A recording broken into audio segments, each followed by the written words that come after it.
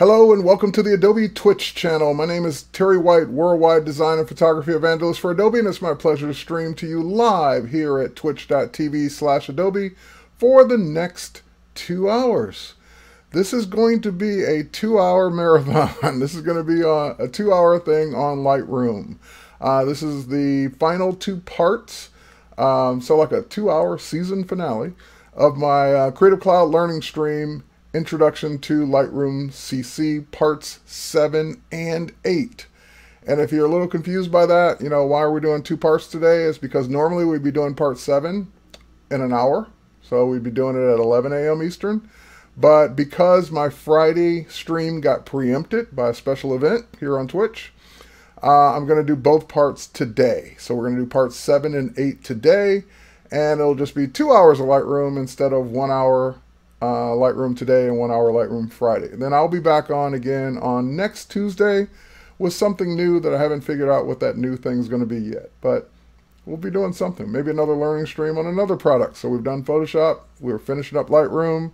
I don't know, maybe Muse, maybe InDesign, maybe Illustrator. You never know.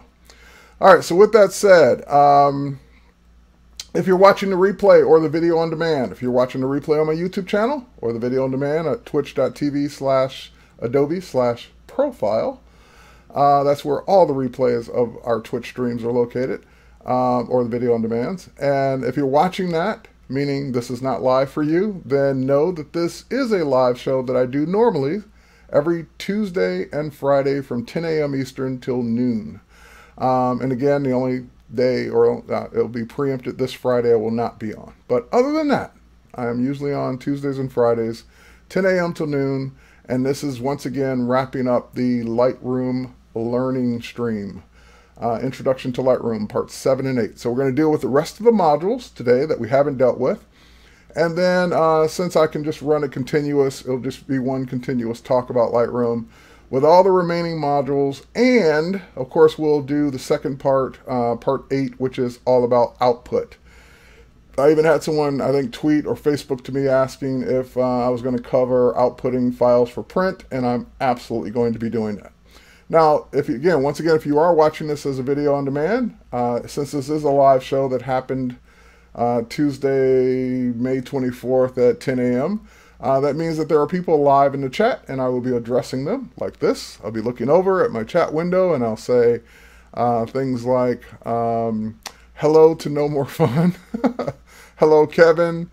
Uh, let's see, what else? Is anyone else in here? Bleary. Uh, 4 o'clock in, 4 o'clock p.m. Okay, coffee as well. Great. I thought it was going to be 4 o'clock a.m. That would be rough, watching the stream at 4 o'clock a.m., but p.m.'s not bad. So whatever time it is in your time zone, thanks for joining me here for this last two parts of Introduction to Lightroom CC. Now, it doesn't mean we won't be doing Lightroom again in the future, but this will conclude our Lightroom learning stream. Uh, and hey, StarCrunch uh, and Victoria, my great moderators for today, and Gizcult. Um, and let's see. I think I got everybody. If I didn't get you, hello. All right, so let's uh, let me go ahead and get Lightroom up on the screen here, and then that way we can um, jump over and take a look at where we're going to start today. We're going to start in an interesting place. Um, this is not the first part of this is this little first little part is not actually part of the listed things that I had as topics, but it's important and it's a question that comes up all the time anyway. So I'd rather go ahead and knock it out, and uh, that way you guys will be able to see what's going on. Okay. So, if you've been following along on this stream, you know that I started off uh, with a brand new empty catalog for parts one through five. So we started off with a brand new catalog created from scratch. We imported images into it. We massaged those images as far as collections and folders and metadata and keywords and things like that. Uh, we talked about Lightroom Mobile. We did all of that. Oh, I'm sorry. We did uh, everything except for Lightroom Mobile. We did all of that in that um, uh, new catalog that we created from scratch. Then last stream when we talked about Lightroom Mobile, I switched over to my regular catalog that I use personally every day. And we're in that catalog right now. Um, however, there were some things that we had done in that other catalog that like some images. Remember the ones we did of Gina, um, Randy, and there was one more folder. I can't remember what it was, but remember those images that we started with? Well, they're not necessarily in this catalog. Well, at least not the way they were in that catalog. So I love to bring those in. Now, what people are tempted to do is, especially if they're working with multiple catalogs, is they're tempted to just do another import. Click import, find the folder of images, bring them in again. But there's one caveat if you do it that way. If you just import the images again from another catalog as a folder of images, then what you will probably be missing is all the work that you did in Lightroom. In other words, you'll be missing any adjustments you made that weren't saved to the actual metadata of the files. You'll be missing any ratings, rankings, flags, and all that stuff won't come over if you just import it again as another folder of images. However, Lightroom does have the ability to import from a catalog, and that way you will be bringing over everything that you did, all the work you did in the other catalog. So it just depends on what you want. If all I wanted was the images and I didn't care about the adjustments, I didn't care about any organization, metadata, or any of that, fine. Click the import button down here on the left, go find that same Gina folder, bring her images in, and I don't have to think about it. But if I want to bring over all the stuff that I did, then I won't click that button. Instead, I'll go over to the File menu and I'll choose Import from another catalog. So the import from another catalog is the way that you would bring images over from a different catalog or if you're trying to combine multiple catalogs into one. So another reason why this comes up is because since Lightroom Mobile only works with one catalog at a time, and most people, especially people that have been using Lightroom for years and years and years, probably have multiple catalogs, and therefore, um, so I see a question right off the bat. When did they do that? If you're talking about this feature, this feature's been here for years. so I don't know.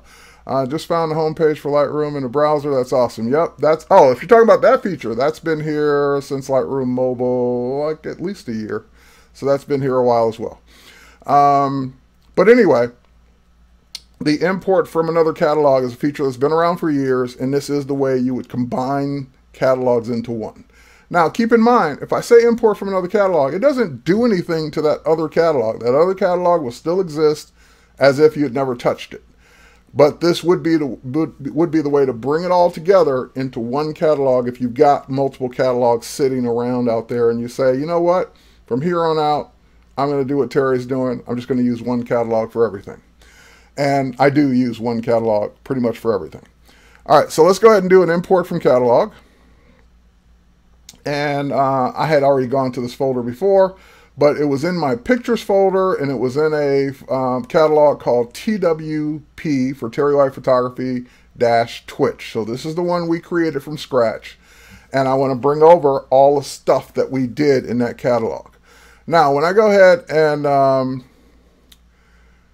okay, when I go ahead and choose that, it will um, prompt me with the ability to, and by the way, I norm, normally by default it has the preview turned off. So this is the way the window would look by default. It's going to show you all the folders that you brought in. So the, these were all the folders that most of these I brought in for that last demo on, on the develop module. But then it's going to show me the other folders of my images that I brought in as well. So I can say, don't bring in everything, let me pick and choose, or bring in everything. Now you might notice that in the Randy and mask training folder, there's a minus symbol there. Because why is that one a minus and all the rest are checks? The reason that that's a minus is because remember, these are images that I've already used and probably shot in my existing catalog. So in that particular folder, when I see a minus like that, it's a dead giveaway that some of those images already exist in this catalog.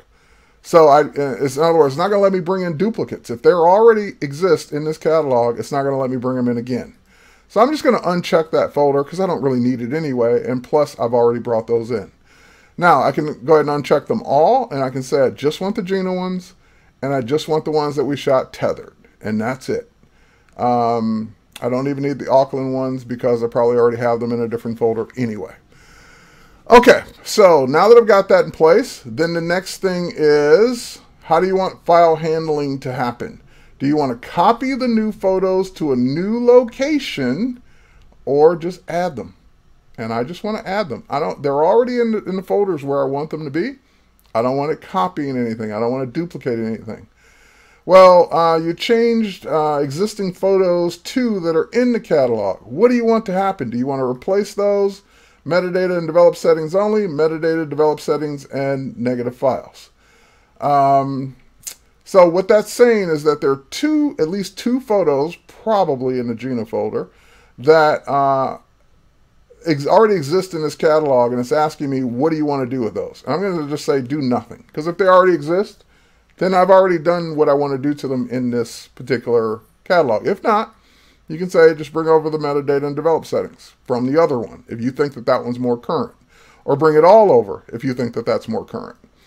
All right, so, and I can show a preview, which is uh, going to show me exactly which ones are coming over from each folder. And even here, I can pick off or check the ones that I don't want. And for example, if I did, if I had just done another import from the, the Gina folder, then I wouldn't get this virtual copy. I wouldn't get this black and white virtual copy. I wouldn't get all the ones that have the uh, white balance adjusted. I wouldn't get anything. I wouldn't get any of these adjustments. I would just get the raw photos again. So that's why we're doing the import from a catalog is so I can bring over all this work that we already did in the previous sessions. All right, so now I'm going to just hit, go ahead and say import. And it should happen pretty quickly because the information's already there. It's already, it already knows uh, all the metadata. It already knows where the images are. I'm not copying anything. So it's just saying, okay, these images are now referenced in this catalog and the old one, the old Twitch one, with all the adjustments. So I saw some questions pop in. Uh, I wonder how you import photos from your camera. All you need to do, um, Mad Mips, is go back and watch the previous episodes. I, I, think it was either episode one or two. We did that. We also did tethering. Uh, so if you just go watch the replays from the previous ones, we covered that. Uh, and if it's if it's if you're talking literally bring them in from the camera versus a card, we didn't cover that particular aspect of it, but all it would be is just plugging your USB cable in, plugging it into your computer, and clicking import. And Lightroom should see your camera and import and copy directly from the camera itself. And along those lines, since this is an intro class, most photographers don't import directly from the camera unless it's tethering, meaning you shot some images, you came back with your camera. Most of us don't plug in a cable and import them that way because, for the simple reason, number one, a card reader is usually faster. So just take the memory card out, plug it into a reader. That's usually going to be faster than bringing them in from the USB cable. And the biggest reason is that it just drains the battery of the camera. In other words, while the, cam- the camera has to stay on the entire time in, in an active mode, transferring all those images, it's just a drain on the unnecessary drain on the battery. So I'd rather use my battery for shooting, not for transferring images. Those are the main reasons why most photographers don't connect the camera. Now, in a pinch, here's the example of when I have connected the camera. When I have uh, used the camera that uses compact flash and I forget to bring my, my card reader. And I'm thinking, oh no, I can't bring them in. And we always forget you can bring them in. Connect up the cable. You can bring them in that way. So I only use that as a last resort. Otherwise, uh, I use a card reader or tethering uh, to bring them in live as I'm shooting, which we did cover. Okay, so now these images are here um, and they're brought in from the other catalog. And I just wanted to cover that as part of, uh, we might use some of these images in a minute anyway, but I wanted to cover that as part of um, merging catalogs together or bringing in images from a different catalog with all the adjustments and everything you've done to those images. And so the folders here now, the Gina J folder. Um, I scroll down here, there may be, I don't remember what we created. Uh, I was going to say there may be a collection of those as well, the collections we did and I can't remember what we did and didn't do anymore, but they should be here as well. So it should bring over all your images, your folders, uh, and any collections that you had created should come over as well. All right, so we've got this in place. Uh, I just want to check one more thing here. As I scroll through.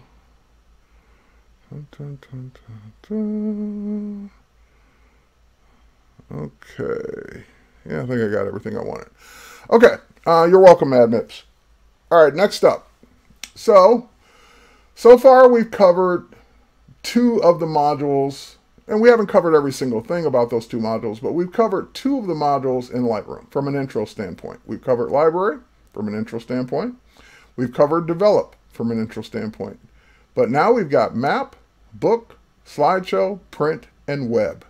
That's what we're going to cover for the remaining part of this first hour. Um, and it may bleed over into the second hour, but that's okay because we can do this all, this, all at once. All right, so uh, let's talk about the map module. And again, this is not a good example because none of these images were uh, geotagged, but we can talk about that from a uh, from a standpoint of maybe you want to geotag them later. All right, so let's say that I want to go to, we'll go to one of my travel um, travel collections. Now, these are images I've photographed and shot from all over the world. Uh, so there's some Paris, Egypt, London, London, Russia, um, um, Malmo, which is in Sweden, um, Denmark, Denmark, Denmark, Amsterdam, New York City, San Francisco, South Africa, uh, let's see, Detroit, Australia, just images I've taken from all over the place, just everywhere. Now, if you see an image in your Lightroom collections or catalog, and that image has this little, what I call a signpost or flag, this little thing right here. What that means is that image, right there, just popped up, has GPS coordinates. Now, the, there's usually only one of two ways you're going to get that coming in.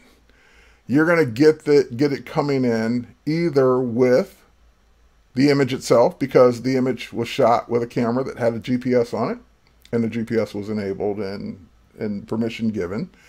Um, and that's usually going to be from a smartphone or smart device because your smartphone has a GPS in it and you have the option, provided you've you've accepted all the privacy warnings, that every time you shoot a photo with your smartphone camera, it will have the GPS coordinates in it and, and Lightroom recognizes those coordinates. The other way is to use an external GPS like I have for my Nikon. Um, so I use a, a, oh God, I can't think of the name of it. I can't think of the brand name, but I use a GPS that's uh, physically attached to the GPS port or the terminal port of my camera. And it's a separate little module. It's about that big plugs right into the camera. I switch it on when I want, plug it in when I want, and give it a few seconds to find satellites. And then once it does, as I'm shooting, those um, photos are being geotagged just like the ones in your smartphone. So those are the two ways that you're usually going to have GPS coordinates coming in. What if you didn't do it? What if you didn't um, have a camera that had it, like you're using a regular DSLR or point and shoot, and it doesn't have GPS. Well, you can still plot where those images are taken manually in the map module. So you could do it either way. All right, so let's say, for example, uh, that I want to pick one of these images and see where see where I was when I took it. Uh, Statue of Liberty, that's probably a good one. Let's go ahead and click the little flag there. When I click, it will take me to that exact spot, almost in front of this boat, but exact spot where I was on a boat taking that picture. And even as I hover over that little spot, it shows me the picture that was taken. And this map is, uh, is supplied to us from Google, so it's Google Maps. And if I pan over, oh, there it is. I was right there shooting the Statue of Liberty, which is right there. Now, what? Why do you need this? Like, what is this for? I love it. I actually, I'm a geotag fan because to me, it's just exciting to just be able to use the technology to wherever I am in the world to know where my pictures were taken at. And the other reason I like it is because I get that question from time to time. Where was this taken? And so not only can I explain it, but I can actually show them on the map exactly where that where I was standing at the time I took that photo. So in this case, I was actually in the water on a boat, just like that boat. Um, and I was shooting that way and taking the picture of the Statue of Liberty from that spot. So if I go here to Amsterdam, click on that flag, it will jump over to Amsterdam and show me not only that photo that I took of the um, canal in Amsterdam, but if I see any other little flags there, it'll show me um, any other photos that were taken that I took nearby. So there's another one. I just walked over a couple blocks and took that one. And, you can even see it as I hover over that photo, like I'm looking straight down the canal. This is the canal. I'm looking straight down. So it's usually pretty, pretty, very accurate. It's within like 20 feet usually. I think the uh, military doesn't let it be you know, very, you know, 100% precise, but it's within several feet of where you were when you took the shot.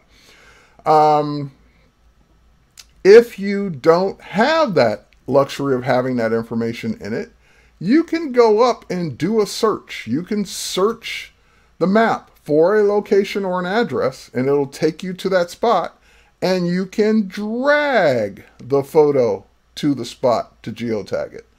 Um, since these are all done, let's go find one that isn't done. Uh, let me go back out. Let me go back to the library module. Oops, I didn't want to search. And let's see if I can find one that isn't done. Uh, what do I've got here? All right, so none of these, these are portraits taken inside of a studio. So obviously I wouldn't have had my GPS turned on. Uh, no reason to, I know where my studio is. Uh, nothing in the red light district. Nothing worth seeing on the stream. I'll put it that way. Um, let's see. Just checking, checking, checking. Uh, for your After Effects question, it's best to hit up um, the. Yep, Victoria put a blog post in there. It's best to hit up uh, um, Adobe um, Adobe Care for tech support questions. Uh, dun, dun, dun, Oh, that may be the old one. The DI, yeah, DI GPS. Yes, that is one of the ones I uh, I use. So the DI GPS. Thank you for reminding me of the brand. That is uh, that is the company that makes my GPSs for my Nikon cameras. But anyway, back to the story. So let's say that I want to I want to uh, map these photos of Trevor where I took them. Well, there's no GPS data. I don't even have a smartphone shot to use. So I can go to map and I can maybe type in the address. See if I can remember the address of my old studio. I think it's 1307 Allen Drive, Troy, Michigan. Let's see what happens. And yep, boom, there it is. And there's some other photos that I did geotag from the studio. So if I want to geotag all of these taken in my studio, I can select them all. I just clicked on one, held down the shift key and selected all the rest. And then I can just drag them right to that same spot. Actually, my studio was more like right there. And now it's setting the GPS coordinates to the metadata of all of those photos that I just popped in. Let's see what this one is. All right. And so actually we'll go to this one and now they're all there. I can go ahead and click my way through those photos that are now geotagged. And when we say that it puts it in the metadata, for example, if I click on one of those, there that's the actual longitude and latitude that it's putting in and it does a normally it does a reverse lookup and it did and that reverse lookup which you have to give Lightroom permission to do that one time so when you first bring in a photo that has the GPS coordinates in it like a smartphone shot Lightroom will prompt you do you want to turn on reverse lookup and if you turn it on it's just a one-time thing then it will do this as well it will populate based on the GPS information the exact city, state, country, ISO country code, so forth and so on. So this was done in Troy, Michigan at that exact location back in my old studio. So that is how to geotag photos that don't have GPS information. Now I'm going to give you one more tip, and this is the one I use all the time. Uh, let's say I'm out shooting with my DSLR or camera that doesn't have GPS, and I for, or I forgot to bring my GPS. Well, remember, your smartphone has a GPS on it. So you get to this wonderful location. Here, let's go back to the travel photos. Let's get to a wonderful location. Let's go back out and look at them. All right, I get to this wonderful location, let's say here. All right, and I let's say it didn't have the GPS coordinates on it. What and I forgot my GPS. What I would do is take my phone out of my pocket and snap one photo, put my phone back in my pocket. And then I would shoot the rest with my DSLR.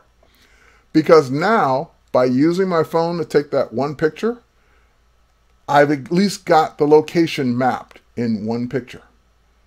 So when I bring that photo back in, let's let's say that this was the location I shot with the phone, and the rest of these were shot with a DSLR in the same location, but they and they're not the same location by the way. But let's say, uh, or actually, yeah, they're not. But let's say they were. Then what I could do is go to the map on this photo, the one shot with the phone. That's where I was actually standing right there. There's no gate, by the way. There's no fence. There's no anything. You fall, you fall to your death. That's pretty much it. There's nobody there to help you, warn you, whatever. You step too close to the edge, you're done. You're gone. Bye.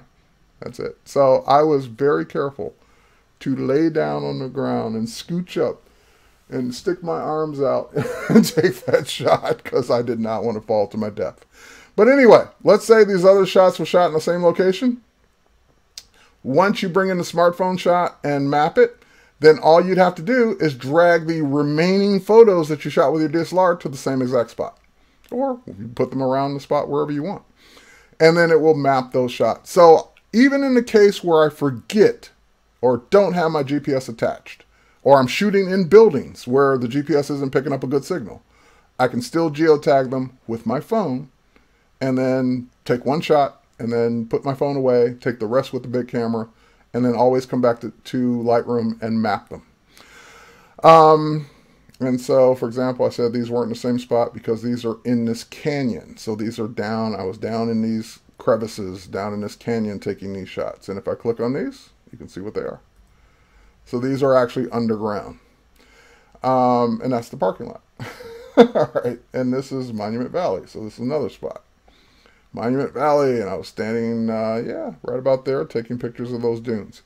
And it's just fun to be able to go back, especially for travel shots, and know exactly where you were when you took them.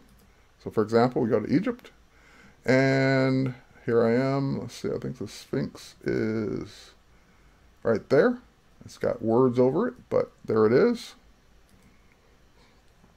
So there it is laying down on the ground, and I was right there, standing on that wall, taking that shot.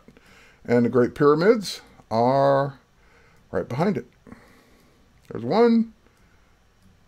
If I zoom back out, probably be easier. Not that much.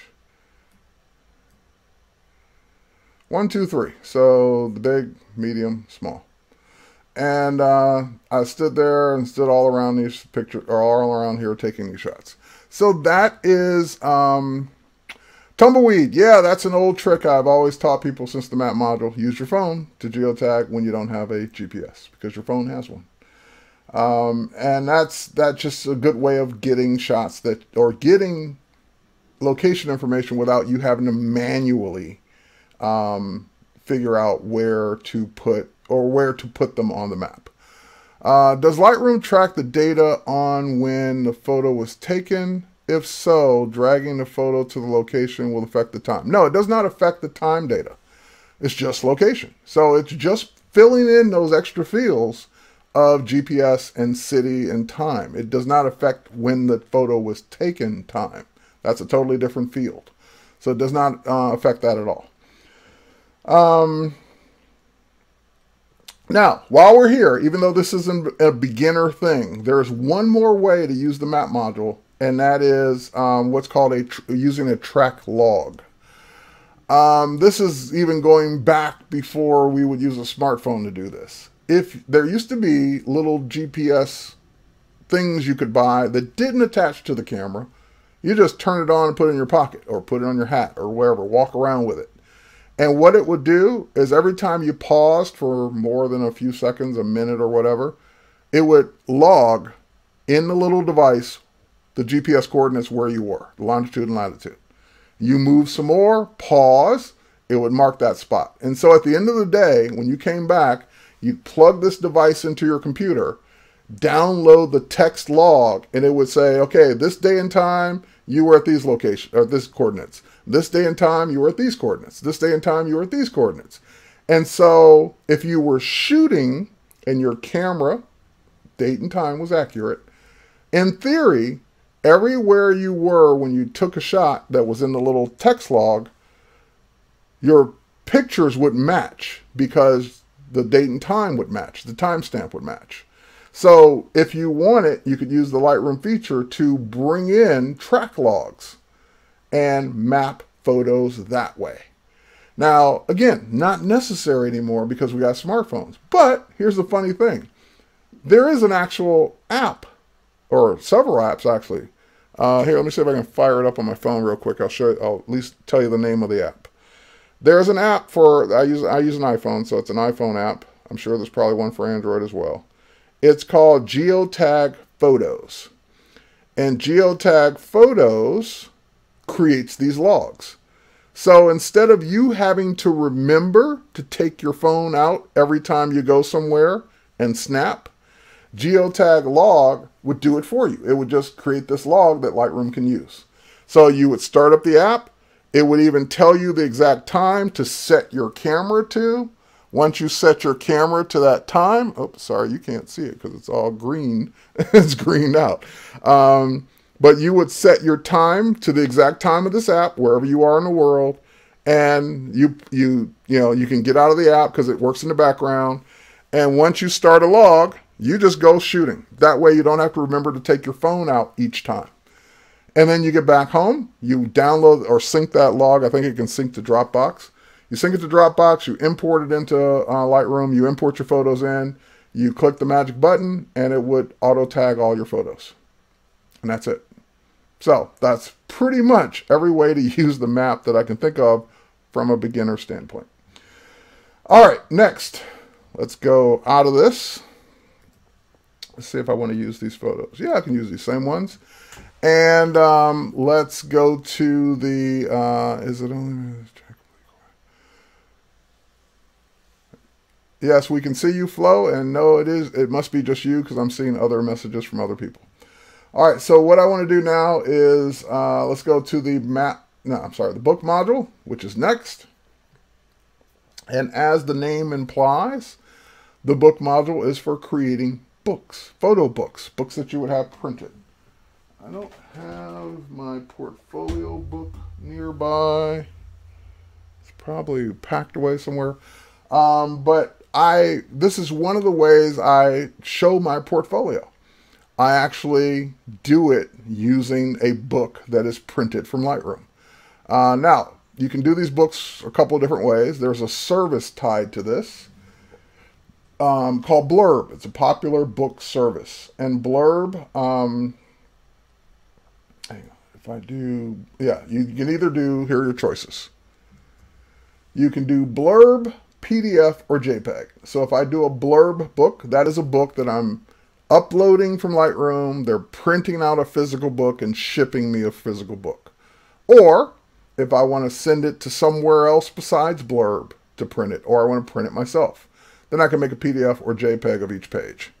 Um, if you do Blurb, you will then get pricing based on the number of things you put in your book, whether you do a standard landscape size, they have different sizes you can pick. They have different uh, hard hardcover, soft cover. I usually do a hardcover image wrap for my um, for my portfolio book. And then you can, of course, build a book based on this. So, for example, if I wanted to build a book of all these photos, the one thing I recommend, having done this before now, first arrange the collection in the order you want the images in. It will make so it will make it go so much faster if you arrange your collection first. Because if you arrange your collection first, you can um, I think there's an auto yeah, there's an auto layout where it will take your entire collection and map and just lay out the whole book for you. Now, of course, you can tweak it, but if the images aren't in the right order, you're going to spend way more time tweaking it than it would have taken just to do it from scratch or you can do it from scratch. So for example, whatever I wanted to be on the cover, if I wanted that image to be on the cover, boom, that's the cover. If I wanted this image to be on the back cover, that's the back cover. So you can lay it out yourself manually just by dragging images into the book. Um, you can also choose various layouts. So I can say, well, for this one, I want the three photo layouts. And of course, they give you various versions of three photo layouts. So I want this one.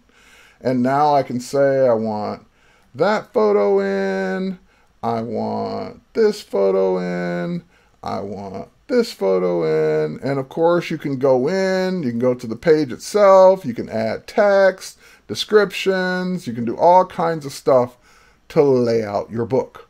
Uh, once you get your, your, your book laid out, and you can even have this kind of layout where each one gives you a big box to do your description of, or tell your story about what went on in that photo.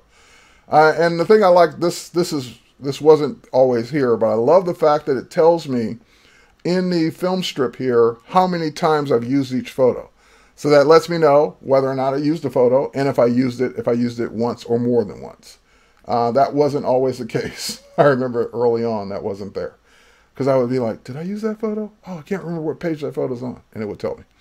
Um, and of course, you can add more pages. So uh, this will give you the estimated price for the book you've created. And if you go, depends on how many pages obviously you make, will determine the price and whether you do hardcover or softcover. So if I do softcover, uh, the price drops down. Now, here's another thing that's uh, just been a blurb thing from day one. You see this, this watermark at the end? And it's not a watermark, it's like credits. It says at the very end on your last page, it will say design using Adobe Photoshop Lightroom with blurb. If you leave that on, the price of your book is cheaper. if you turn that off, which you can turn it off, you can say, nope, don't do that. Don't do any advertising. I want the book not to have your logo on it. Then the price goes up. So it's up to you. You're you're basically choosing whether or not you want a cheaper book with a, with advertising. So it, it increases the price by six bucks in this case for this one book.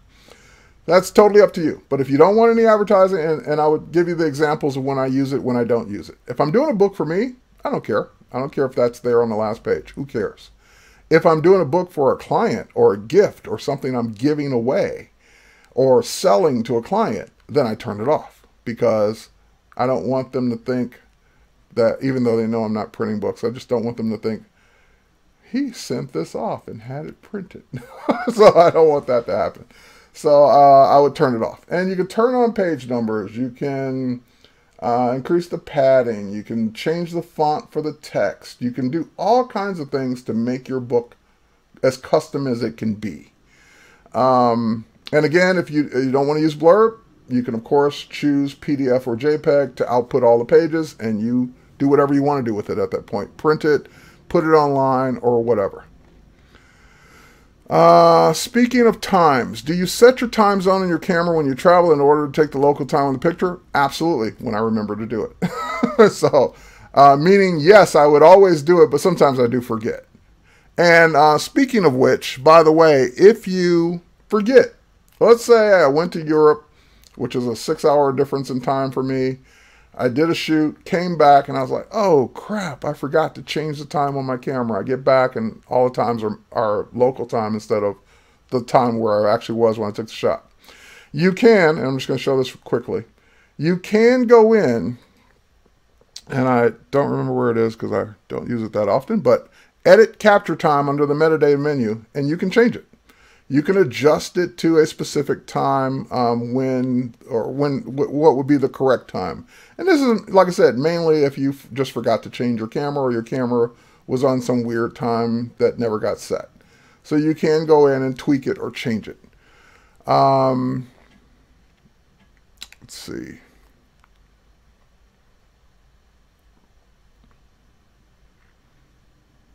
All right. Okay, I think I got everything else. Victoria got that last question. So back to the book. Um, you can, as you can see, I was able to return back and continue editing. You can uh, keep working on the book. You can also save. Uh, let's see if I go down here.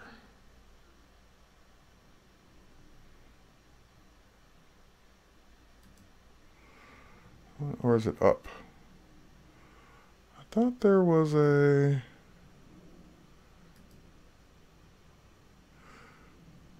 Create book. Okay, if I say create book, there we go.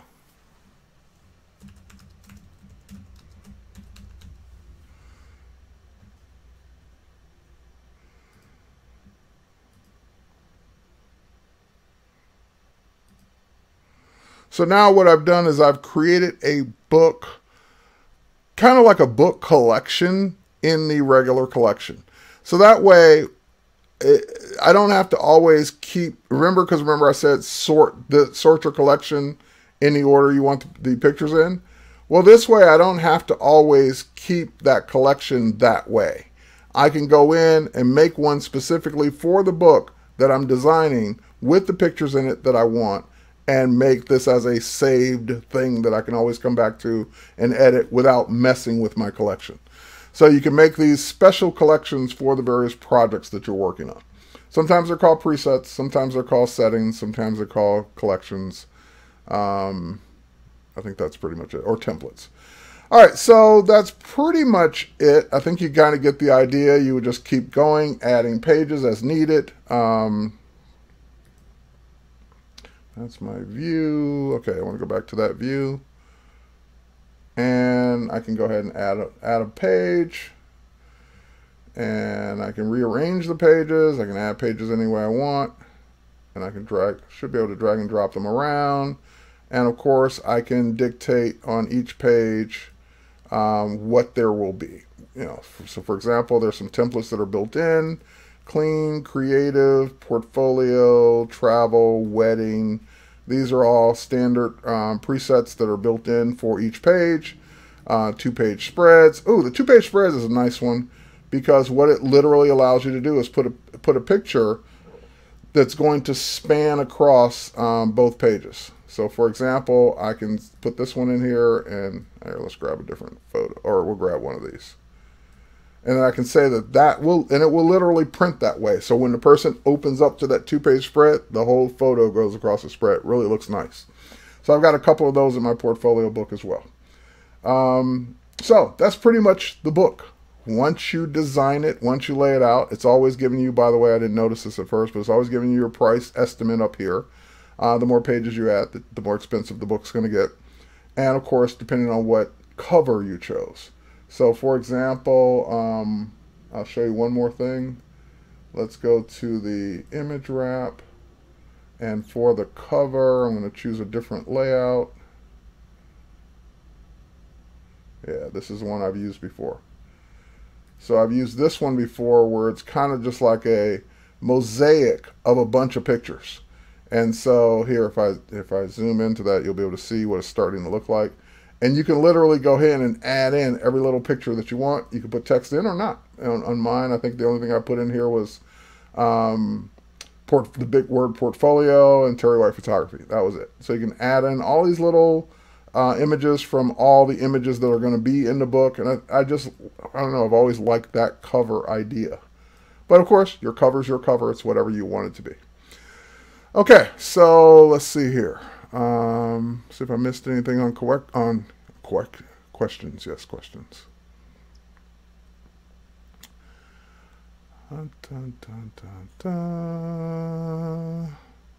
So someone's asking about are there classes every day? I don't do classes every day, but there's someone streaming every day here at twitch.tv slash Adobe for about 17 to 18 hours a day. Um, so Victoria just put the times up. There's usually someone streaming. I, yeah, I never realized it's from 7 a.m. to 12 a.m. Pacific time every day, seven days a week. So you can always come here and watch something creative. All right, uh, so that's the book module, and books are cool. I I don't do enough of them. What I'd love to get back to the habit of doing, and I was in this habit at, at once upon a time, of every time I take a trip, come back home and make a book for that trip. And while we, of course, can post our pictures online, and we're going to get to that as we get to the web module, and you can do slideshows and other things, there's something about having your actual ph photography printed out that just, it just gives you a warm and fuzzy feeling on the inside when you're looking, when you're holding something in your hand and you're able to flip through it and see the actual pictures nice and beautifully printed. Um, I've had a couple of Blurb books printed, and the quality is outstanding. No issues with the quality whatsoever. It is time for me to update my portfolio book, but I, I want to do more of these books. Um, and I think there was one more thing size. The other thing that's popular is this small, um, yeah, sure, change it. I don't care. This little small 7 by 7 inch or 18 by 18 centimeter uh, square book. Just a little book you can keep with you in your bag or backpack or purse or whatever. And just whip that out at any time and just flip through. And it just helps you convey your ideas, your what you are about, what your photography is about, or what the trip is about, whatever it is you're trying to convey. I highly recommend trying one of those little seven by seven inch books. Um, they are pretty cool. Okay, so that's the book thing. Send to blurb when you're all set, and please proofread it first, because if you got a typo in it, they, they're not going to reprint it for free. Uh, so make sure all the pages have everything you want in them. Make sure that the text is all correct on every page that you added text to. Or you can export the book as a PDF, and that might be a good way to send it, give it to someone else as a PDF first to say, hey, look this over, proofread it for me. They get the PDF, email it to them. They can go through it, check it all, make sure it all is all spelled and grammar correct, and then you can hit print or send to blurb. And photos should be printed. Yes, I agree. Photos should be printed. Um, uh, behind this green screen are several of my photos on the wall. all my photos are all over my all over my uh, studio and my home. Uh, because I think photos should be printed. That's one another way to enjoy them. Not that I'm against online. I certainly put my share of photos online, but I think printed is another part of the story. Okay. So let's go into our next module, which is the slideshow module. And the slideshow module, kind of self-explanatory. It lets you do electronic slideshows from right within Lightroom. Um, the module has gotten some nice features along the way, especially in uh, about a year ago. Uh, the update included several adjustments or enhancements to the slideshow module. Um, and slideshows can be used in a couple of different ways. So let me let me just switch collections here just so we have something different to look at. I'm going to switch to my portfolio. Let's do nature and animals. Okay, we'll do nature and animals. All right, I'm not a nature or animal photographer, but every now and then I run across something cool that's nature and animals. so I photograph it. All right, so here are some of my nature and animal photos. Um, and what I'd love to do now is talk about the slideshow. So if I go to the slideshow module,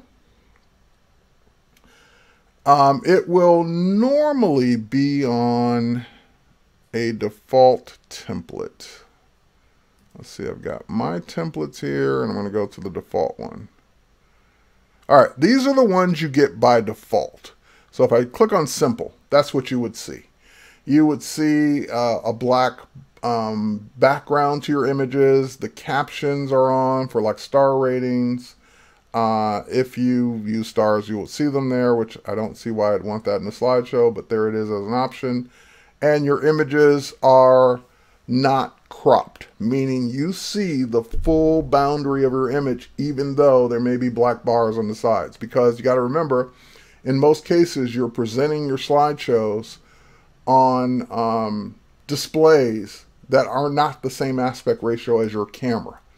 So normally your camera is more of a 4 by 3 aspect ratio.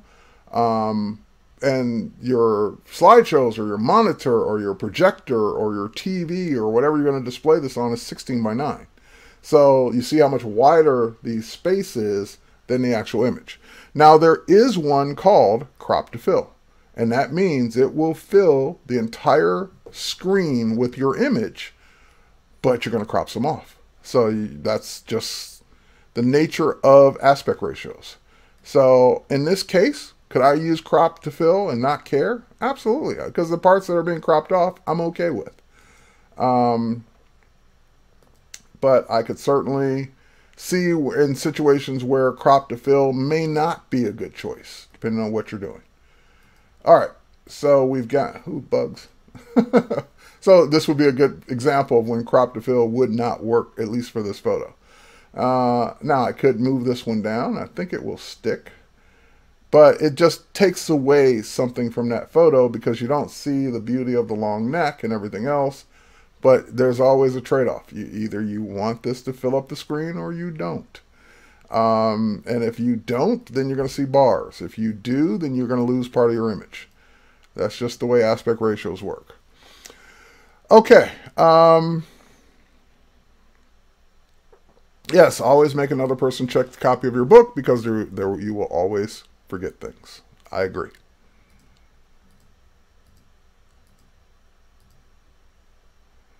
All right, this was from South Africa, and that's a real lion about, oh, I don't know, 15, 20 feet away. yeah, brings back memories. And these were taken in Toronto at the Butterfly House. Okay, so I see I'm getting lost in my own photos here. All right, so once you've chosen your photos, you can either choose one of these built-in presets or templates, or you can go over to the right-hand side. And this is the way, by the way, all of these modules work. On the left-hand side, if there are templates or presets or things you can save, they'll be on the left side. All the settings for that particular module will be on the right side. So in the book module, all the settings for the book were on the right-hand side. The font, the number of pages, the layouts, all that stuff's on the right. If I save it, it's on the left. Slideshow module, all the settings are on the right. If I create my own template or want to use one of their templates, it's on the left. So if we start at the top, this is where we choose the zoom to fill or not. Um, whether if you don't zoom to fill, whether or not you want it to cast a shadow, and casting a shadow wouldn't be very good in this case, but if I don't zoom to fill, do I want a border around the images? Um, and maybe that's okay. So just you can customize this to your heart's content. Do I want my identity plate to show somewhere on the photos? Uh, and again, you get the Spider-Man effect as Scott Kelby likes to refer to it.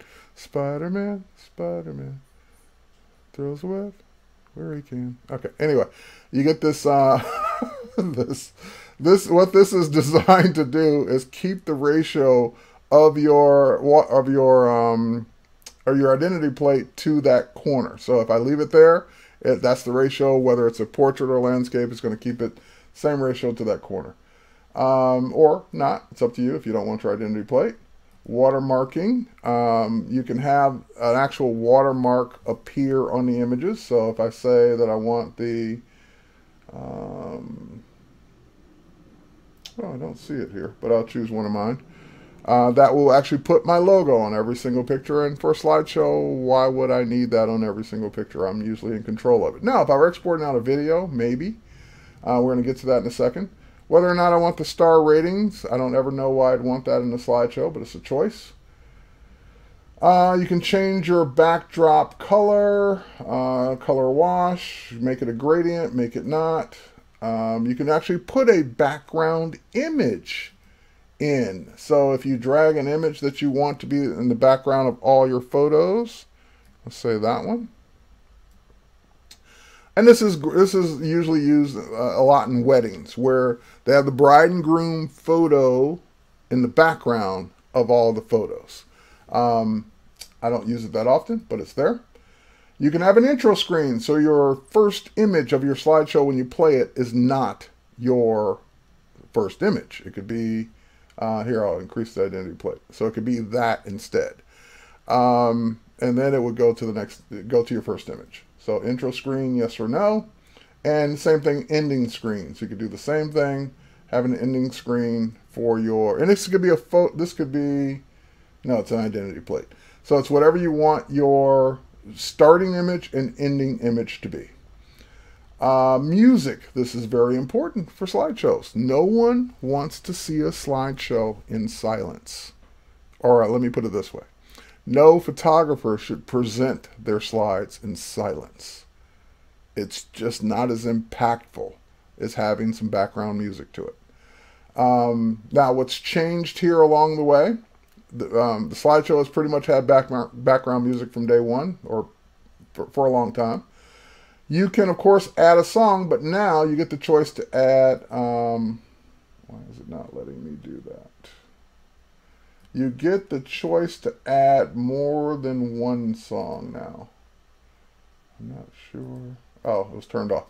Uh, you get the ability to add multiple songs. So these could be MP3s, M4As, um, whatever you have on your drive to, to want to add. Keep in mind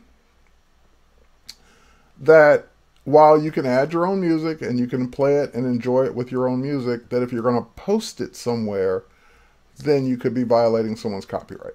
So your music is, in, is for you to enjoy for you, but not for the world to enjoy that song that plays in the background of your music. So keep in mind, you if you want want to post it, use royalty free. Can you mix them? Um, no. Oh, so let me go back to this. So now you have the ability of not only adding one song, you can add as many songs as you want, and they will just play in order. Um, can you mix them? No, they don't mix. So it plays one right after another. Uh, now, this is pretty cool. This is fairly new. Uh, slideshow mode. So, for example, if I want to, and I, I want to put a royalty, a non-royalty free song in there that I really like, but I can't because I'm going to post this episode as a video on demand later, and I don't want it to be blocked. So I've got a royalty free song in here. Um, you know what? Let me pick a different royalty free song though. I do have a better one. Uh, let me go to demo files and let me go to audio and let's see modern ambient.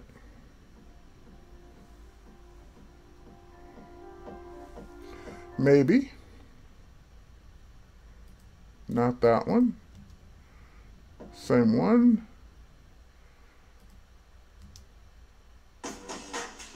Not the right music all right, I think for this one, it's just gonna, oh, what's this? Yeah, that could be okay, but not this time. All right, so we'll just choose this one. And see how it added it in as another song that will play after that one. I'm just going to now get rid of this one. Okay, so now that I've got my music in place, uh, the next thing is whether or not I want it, the slideshow mode to be automatic or manual, meaning I'm going to advance the slides as I talk or it just plays. So automatic would be it just plays. Uh, this is what's fairly new. Right now, you can say fit to music. This was the way it used to be. And you could say, hey, if it's a four minute song and I'm playing 30 images, do the math, make each image stay on as long as it needs to stay on for the four minutes. Or I can say sync the slides to the music, where it will try and um, determine the beat of the music and then switch to the appropriate slide at the appropriate time based on the beat. So as the beats hit, the slides will change. Um, I've had mixed results with that. Depends on the song. All right, audio balance. Now this is video versus music. Because slideshows can contain videos too, because you can bring videos in the Lightroom. So let's say you were out shooting these butterflies and you also did a video of the butterflies flying around you can bring that video in and make it part of the slideshow. Now, if that video has audio, what do you want to hear? What do you want to be dominant? So that's what this slider is for. Do you want the audio from the video to be dominant? That's what it defaults to. It kind of leans towards that. Or do you want the music to still remain dominant? And it will you would lean towards that. If you go all the way, then it would mute one or the other. So for example, if I went all the way over to video, when that video plays, it would mute the background music until the video is done then it will go back to playing the music. Um, this is fairly new as well, pan and zoom, which I like this actually, to where it will pan and zoom the photos, commonly referred to as like a Ken Burns effect. I don't want to repeat it, and I want the quality could be standard, draft, or high. Um, so I can preview this.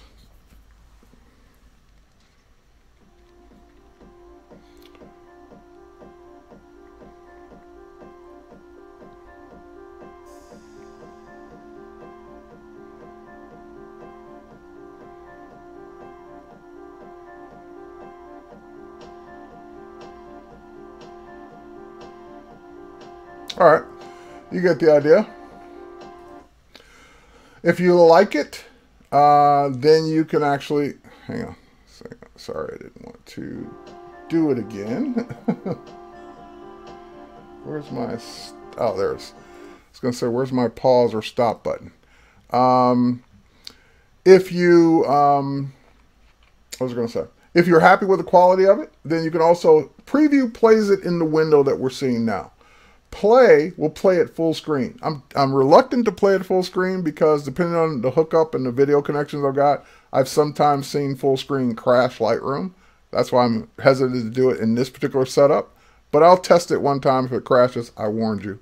Um, or, and, and by the way, playing it means you're ready to play it in front of your big grand audience and you're ready to go. Or you could say export it out as a video. If I say export it out as a video, it can make an HD version of my video with the music and everything included uh, as a movie that I can then host or play or put wherever I want. Uh, so I'm going to go ahead and try and play it full screen. Let's see what happens. All right, it's working.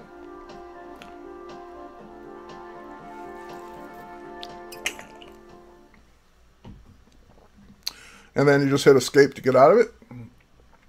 So if I go back to the beginning, try it again.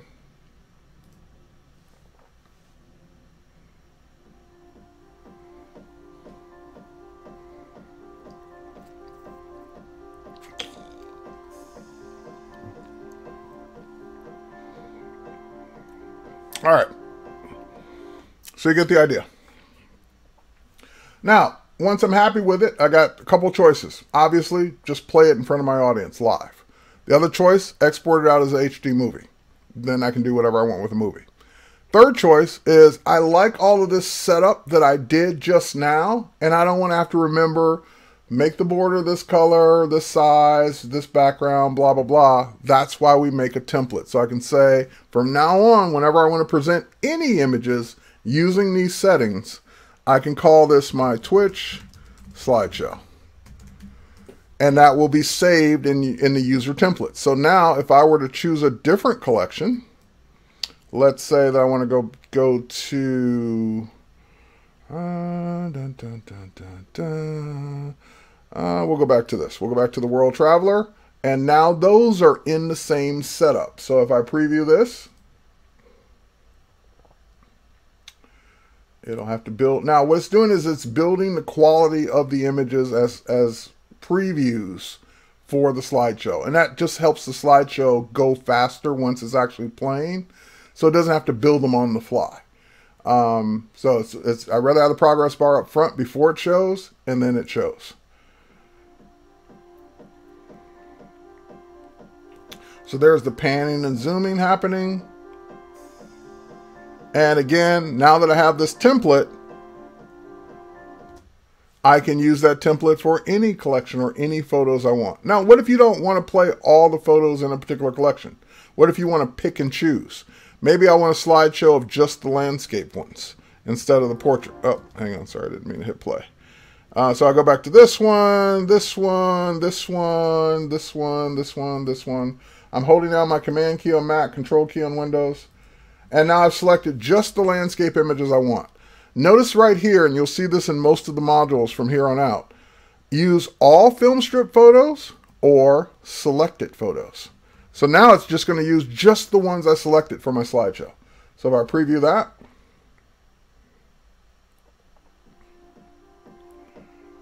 it's only using those.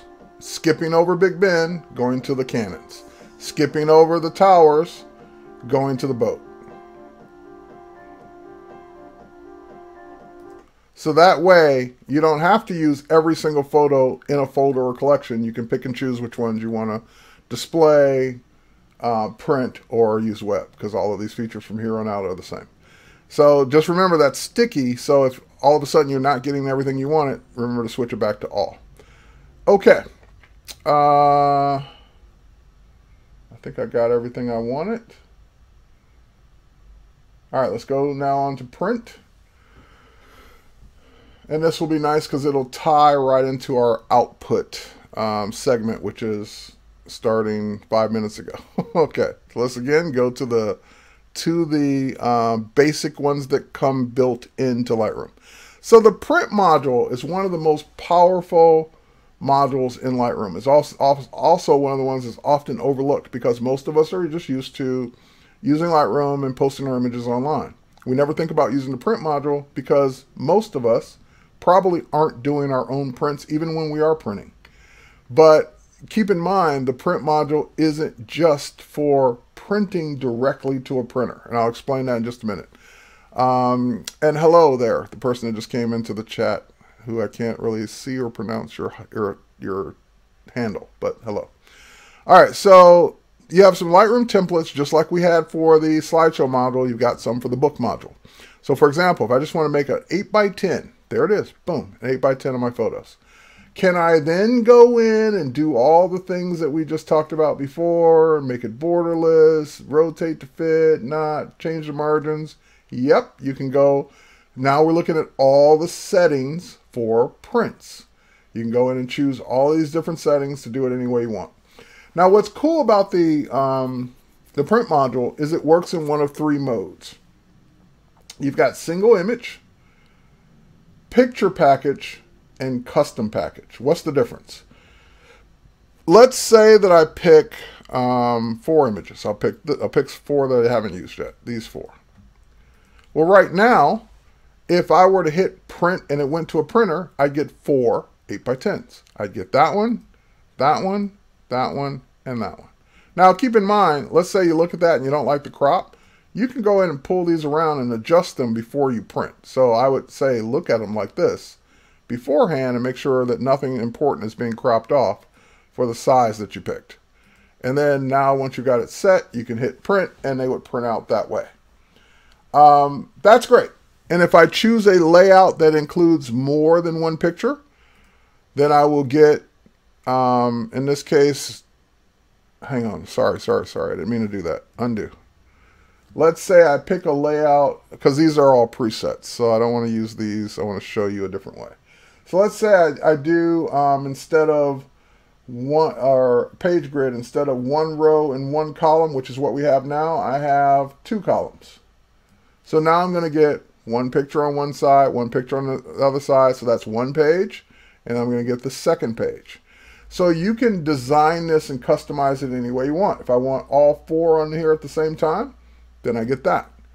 So that's the single image contact sheet way of doing it. And what that means by single image, you'll get a single image per page or a single image per square or per placeholder.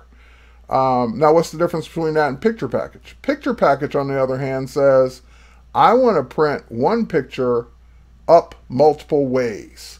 So, for example, I want to, um, here, we'll clear the layout. And this is so cool. I want a 5 by 7 I want a 2 by two by two and a half by three and a half. I want a four by six. I want an eight by 10. I want um, another five by seven. And see what it's doing? It's automatically making all of those sizes fit on my default sheet of paper size. If I have a bigger sheet of paper, then it'll put more pictures on that bigger sheet of paper. Right now, I think it's probably defaulting to 8.5 by 11, and it is. I'm looking at the rulers here. So 8.5 by 11, standard US size. If I had A4 chosen as my page setup, or if I had tabloid or any other bigger size chosen, then I would be able to get more pictures up on the page. But what the, what's cool about this is I'm getting to pick all the different sizes I want for print.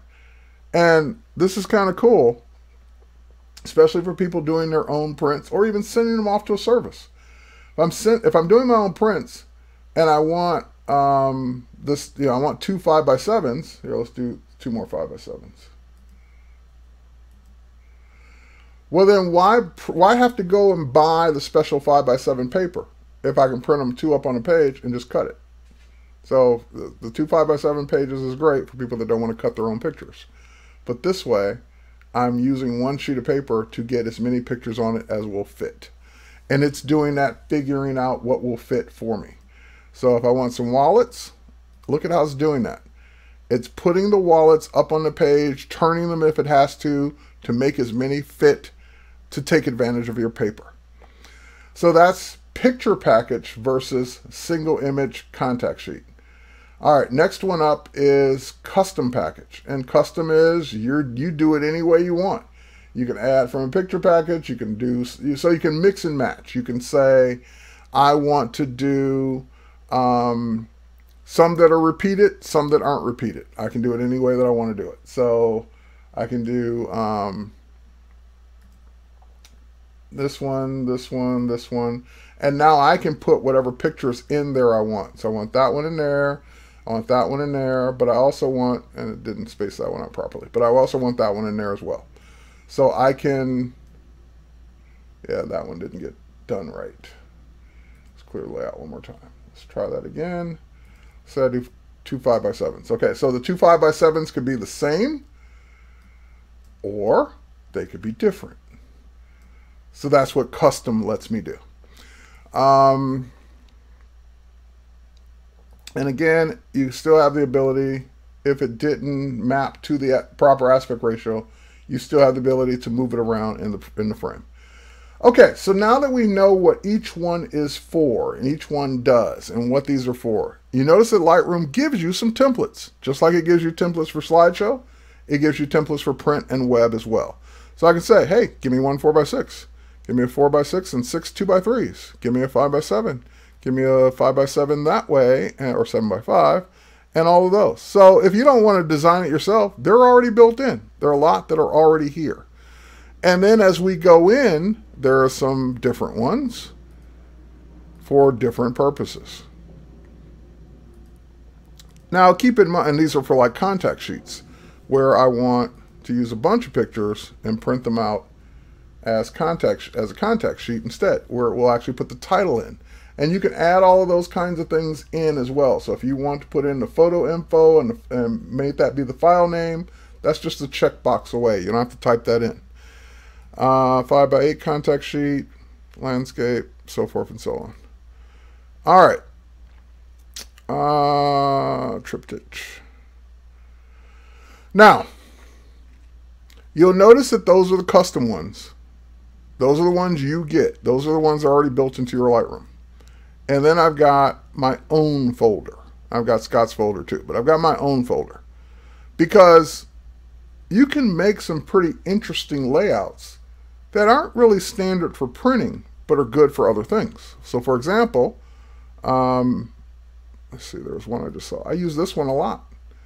Where I want to make an 8 by standard 8 by 10, but I want it to be on a black background. And I want it to uh, have three images up at the same time. And I might actually print that and put it in a frame just like that with my watermark or whatever on the bottom or not. So totally up to you. You can take that off and make these taller if you want. Uh, let's see. Here's another one. Four, four up on a 16 by 20. Four up that way. So if, again, if you can print these different custom sizes, great. You can have your own. Um, I used to have one called Studio Print. This is one where I would actually give it some white space around it to make it look like it were matted when I stick it in a regular 16 by 20 frame. Uh, studio print on black, where again, it's really not for a wide picture. That one's more for a tall picture. Um, and then I had some for canvas prints. 16 by 20 canvas print, 20 by 30 studio print. That will go in a frame. This one will go on canvas. So I'm not printing any of these on my own printer. I'm sending them to print houses, whether it be MPix or Costco. Anywhere that I want to send stuff to have it printed, I'm using Lightroom to generate the files because Lightroom does this faster and easier than anything else. Hands down, faster than Photoshop. You know how much time it would take me to go in and customize all this and get this all ready for multiple photos in Photoshop? Several minutes, if not hours. Whereas here, it's all just a click away. I can go ahead and click, photos, which ones I want, what sizes I want, presets, done, output, gone. So now when I say output, and I say that people ignore the print module if they're not printing their own pictures, because you think print, oh, I don't even have a printer. I'm not, I don't even have a photo printer. I'm not going to ever use that. But here's the hidden benefit to the print module. Normally, you're right. It defaults to printing to a printer. And if you don't have a printer, then that's not really of much use to you. But know that you can change this from printer to JPEG file. So now any of these layouts that you just created and took advantage of, you can actually output this as a JPEG file and use it either on a, as a, to send it to a print service to have the print print it, or use it online, or use it any way you want. So, for example, if I go back to, uh, let's see, if I go back to this one, and let's pick some nice photos. Let's pick this one, this one, and this one.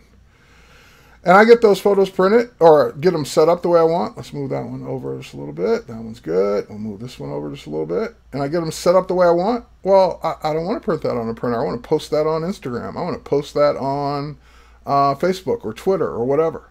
Oh, wait, social media? Yeah.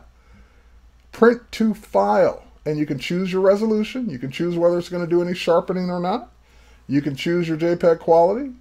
You can change any custom dimensions about it you want. You can choose what color space it's going to use. So I would use sRGB for online versus Adobe uh, RGB for print or Pro Photo for print. Uh, so now I'll go ahead and click print to file. It will then come up and say, where do you want this? I want it on a desktop and I want to call it New York to SF. All right, desktop, save, and it's creating a JPEG file based on this layout and printing it or saving it out in the background. So I can keep working because that's a background process. So if I want to pick three more while I'm waiting for that first one, I can go ahead and say I want that one, this one, this one, hang on, it's thinking, there we go, that one, and perhaps, see, I don't have a lot of portraits in this collection, but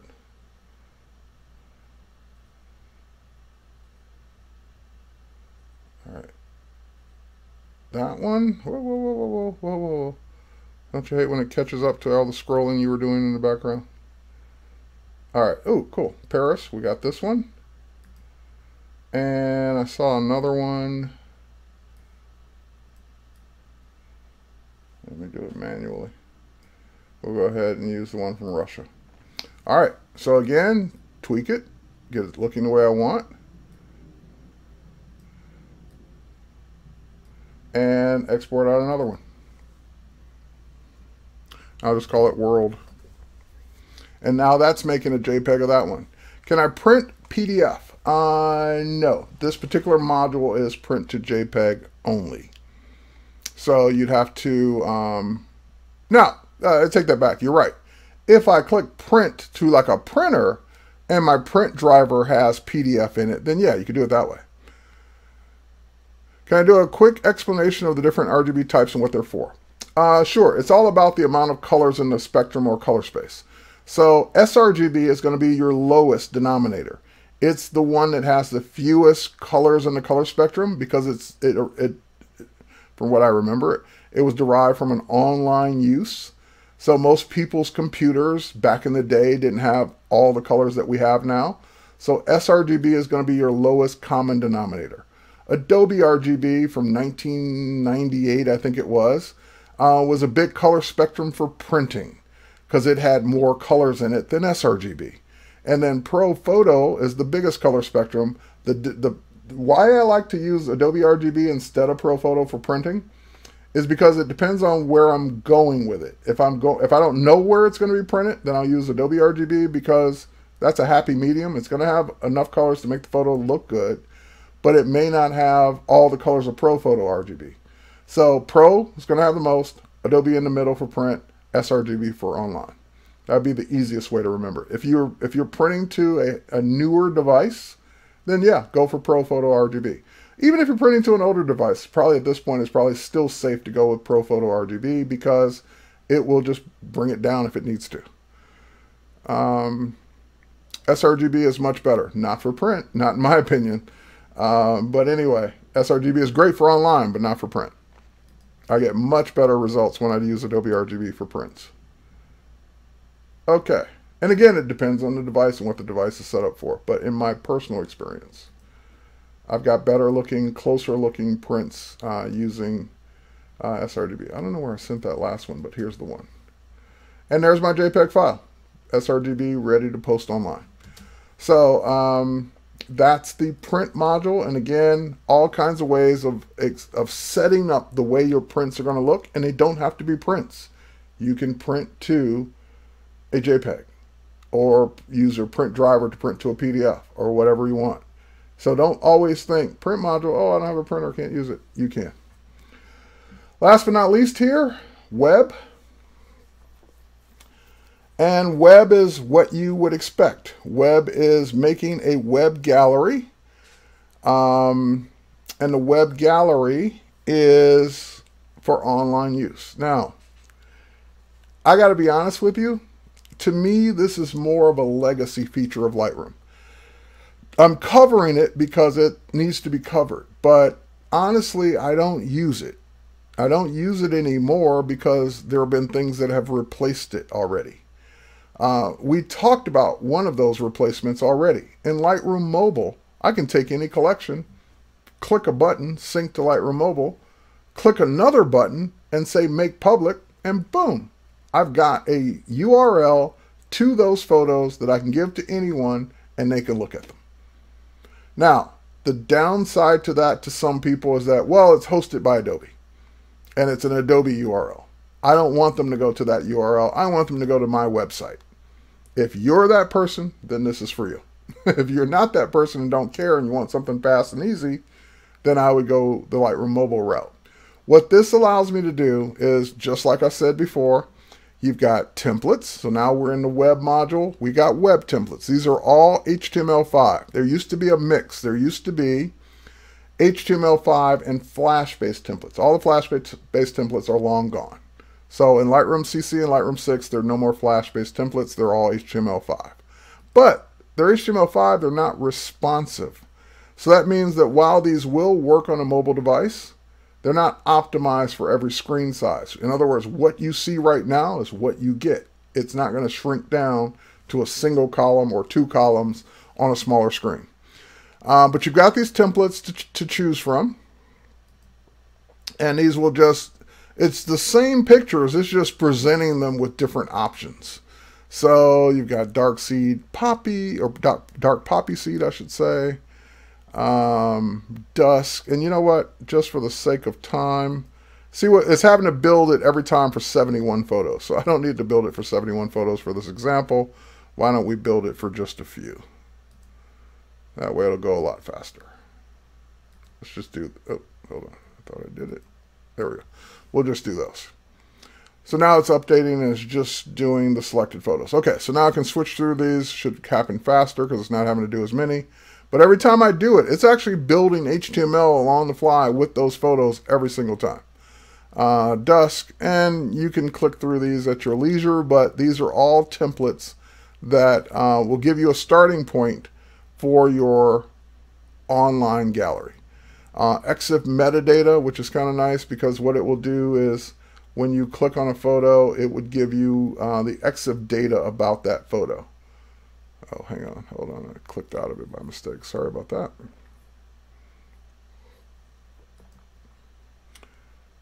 So there, it's giving me all the EXIF data about the photo if you needed that information. Now it's pulling that all in from the photo.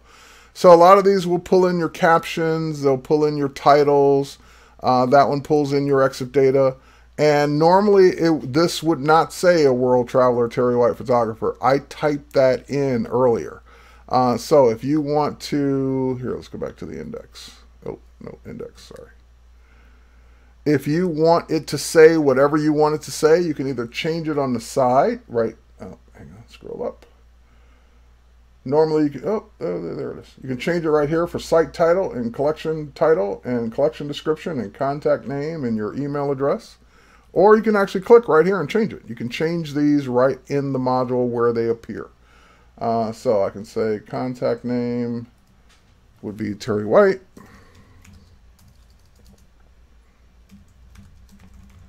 And mail to, this is would be a mail link of where you want emails to be sent if someone clicked on it. And you could delete that if you don't want an email link. You don't have to put it in there. So I'm going to say terry at email.com. That's not a real address. All right, just so you know. All right, so now we've got the email address in there, and it will automatically limit this to nine pictures and then put the rest on the next page every single time. And you can again go in and customize this to your content. So if you don't want, um, let's see, where will it put that? Interesting. Some of them will change what's up here and put your identity plate in. I don't see where this one's putting it. Oh, there it is. Okay. So it'll put the identity plate up there or leave the title or both in this case. Uh, and again, any of these colors can be changed. So if you don't like the background color being that gray, then change it to a different color and that becomes your color for your background. You can change it to anything you want in the spectrum. Um, so completely customizable. And once you get one customized the way you want, so that you would always have it again, plus sign, user template, web, Twitch. And now I've created this template that will always be here every time I want to upload photos to the web. Now, what's the upload mean? Ooh, wait, hang on, hold on, hold on, grid pages. Dun, dun, dun. Is this new? This is new. It's a new interface for that. That's kind of cool. This is fairly new. This didn't used to be here as a as a clickable thing. You you could type in a number for how many cells you wanted across, how many how many columns and rows you wanted. But now it's actually a nice grid that you can pick. That's kind of cool. You can also choose to show the cell numbers or not. So that's the one, two, three across here or not. Uh, image sizes for the pages, image width. So you can go in and create all of this. You can also do some watermarking. Uh, so I've got a simple watermark or I can use my logo since these are going to go on the web. And then once you're done setting this up the way you want, you can go in and either export this out as a folder of HTML. So it'll be ready to use, ready to edit, ready to do whatever you want to do with it. Or Lightroom has had a built-in FTP client since the web module has existed. So for many years, you could actually FTP or upload directly to your hosting provider um, right in Lightroom. So for example, I've got a domain called terrywhite.photography and terrywhitephotography.com, same site. I have a folder on that server called proofs because I normally use the proofs folder to put client proofs in, HTML galleries of their proofs. Um, I can use the FTP built into Lightroom to actually send this gallery to that folder right from here. Or I can export this folder out and then use another FTP client and upload it. Why would I use one or the other? The Lightroom FTP is slower. I'll be honest, it's slower. Uh, I use a program called Transmit. Transmit's much faster than Lightroom's built-in FTP. I don't know why Lightroom's FTP is as slow as it is, but it's slow. So even for the sake of time that it would take to do it, I'm going to eliminate some of these photos. Uh, drop it down to just a few. So it'll take less time for this as a demo. As a matter of fact, I'm going to really drop it down. Let's make it just four. And since we're only doing four, we can make our grid. Okay, so nine is as small as it gets. And we'll make our grid that. And now I'm going to go ahead and say upload this to a folder called um, a subfolder in my proofs folder. We'll call it, probably call it Twitch. All right, let's just call it Twitch. So now it'll be terrywhite.com or terrywhite.photography slash proofs slash Twitch when this is done. So upload. And now the, the thing I like about having it built in is it's built in. I can do it right from here. I don't have to do anything else. I don't have to export out a folder, find a folder, log in with an FTP client, so forth and so on. It will just do it all right here. Um, the downside is it's slower, but it is happening in the background, so we don't have to wait for it. You can go and do other things while that's happening. You can move to a different module, continue working in Lightroom while that's going on in the background. And we will do just that. so we'll let that cook. It shouldn't take too much longer, but just know that you have the option to export directly from Lightroom to a web folder do whatever you want with that folder of HTML, or upload it directly to a hosting provider at your own domain, your own hosting, has nothing to do with hosting with Adobe. Um, the question that normally comes up at this point is, can it be password protected? Not built in from Lightroom. So if you've got some other way to password protect it, you can. All right, um, it looks like that's done. So I can, I don't have to move on. I can actually just show you. All right, so it's finished. Let's go out of this. Let's create a uh, new um, page here real quick. Terry White, actually, dot photography slash proofs slash Twitch. It is case sensitive. So always remember that. If you use the capital T in your folder name, then it's it it won't work with a lowercase t. It's got to be the same exact what you typed in for Lightroom. So once I go here, um, that gallery is now live on the web. So I can give anyone that URL and they would be able to go to my site, go to that folder with those images and navigate them and go to the next one and go to the next one. And my watermark is on each one because I told it to do that. And there they are. That's what the web module is for.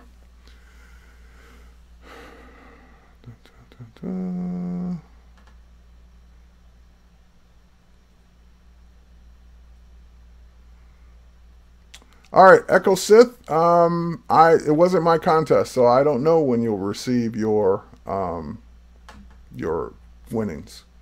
I don't control any of that. Um, I'm trying to think even who would you contact about it. Uh, I think that was probably during Michael Chase's stream, so I would reach out to Michael Chase and ask him that question. Um, but yeah, I, I don't have any control or can tell you anything about your winnings. Okay. Uh, but you should have received at least the Creative Cloud by now. Okay, so that's the web module. That's what it's for. Let's switch back to Lightroom. And now let's talk about output. We got 33 minutes. I want to talk about two things that are very important. Outputting your, yep, M. Chase, that's the guy. Um, I want to talk about outputting your photos for email, print, web, and moving your photos to archive them onto a different drive. All right, um, so first and foremost, Lightroom already has the ability built in to create an email for of your photos.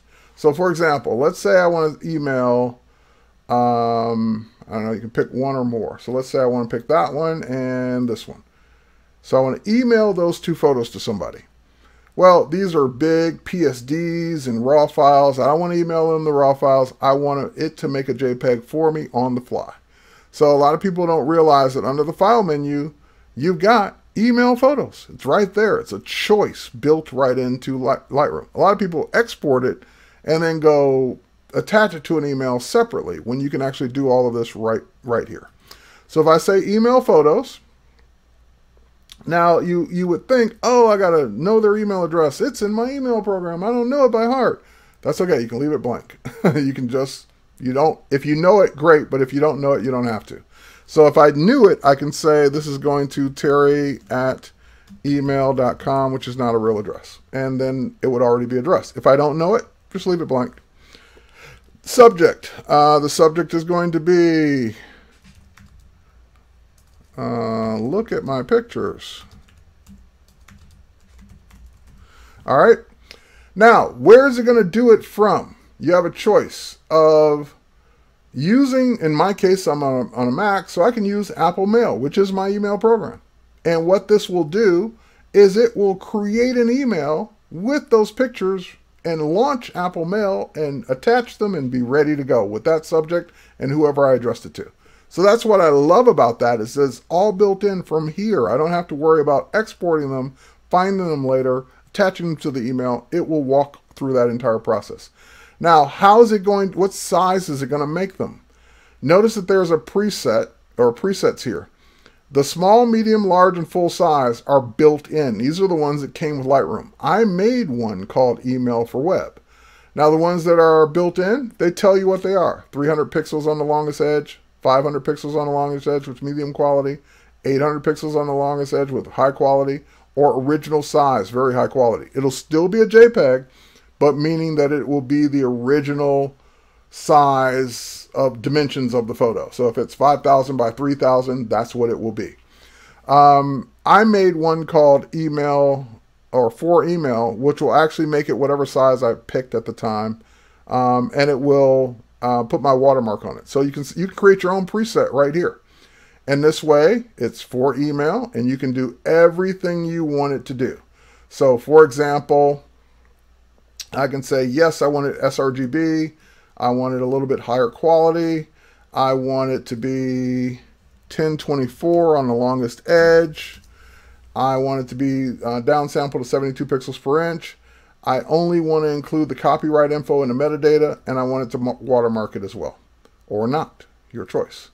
And then I can save that preset, and that way I'll always be able to use it. So I can say, say that this is for Twitch email. I'm naming these all Twitch so I can delete them later. I'll know which ones are which. Email. All right. So I'll create I'll create that preset, export out, and now that one is ready to go. For Twitch email with all of those settings, I never have to remember those settings again.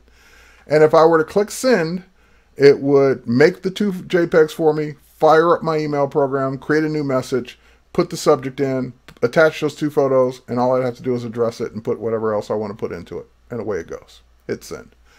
So that's emailing directly from Lightroom, built right in. What if you want to upload them? Facebook, Instagram, Twitter, um, iMessage, Snap, you know, Snapchat's a little more difficult. Uh, whatever else, whatever other way you want to use the photos. Then that's where export comes in.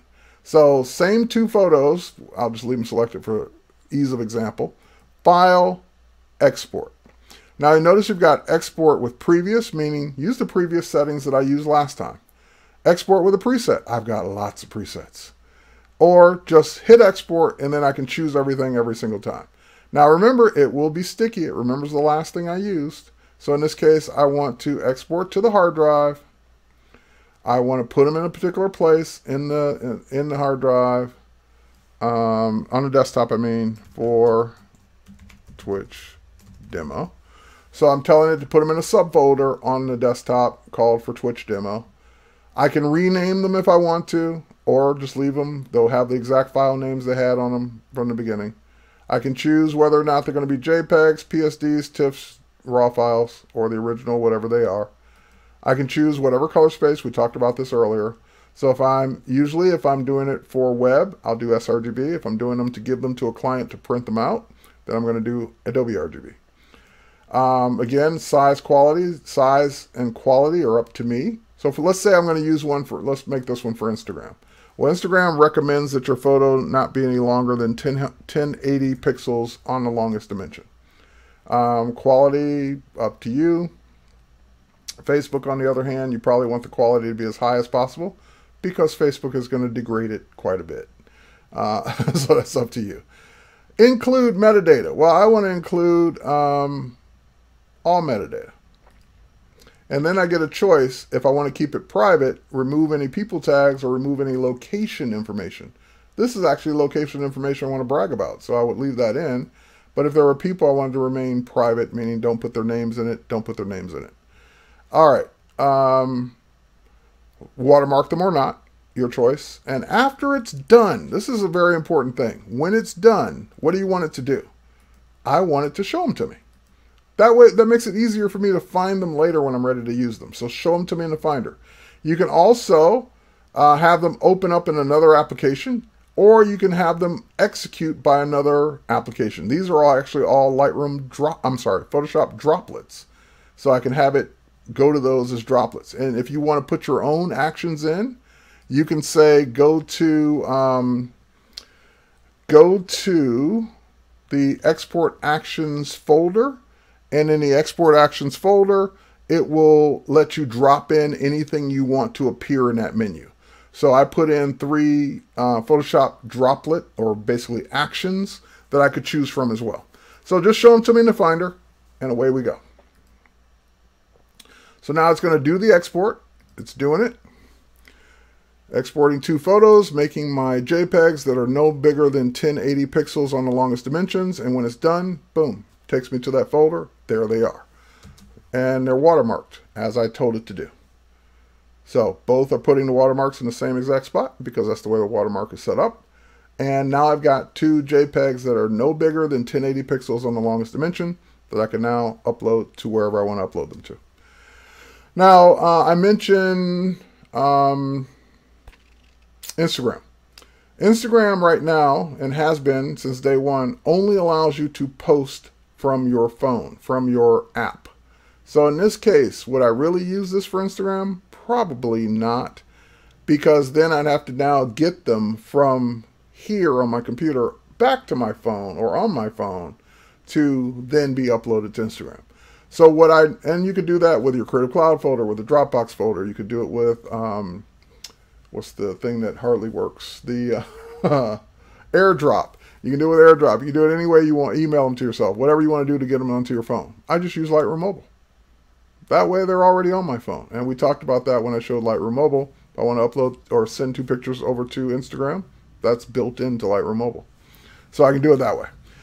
And um, there's even a watermark app that I showed and used last time. Okay, so that's exporting them out. And if I were going to do it for print, which I've already got an export preset set up, I'll just show it to you.